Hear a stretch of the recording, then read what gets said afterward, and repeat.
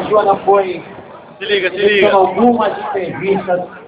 A galera do BMX, tanto o Anthony, a Mônica, quanto o Kevin, curtiram demais, marcaram isso, Tá aí mais uma vez a Esquadrilha da Oi, representando aqui também, mostrando um pouquinho de radicalismo aéreo.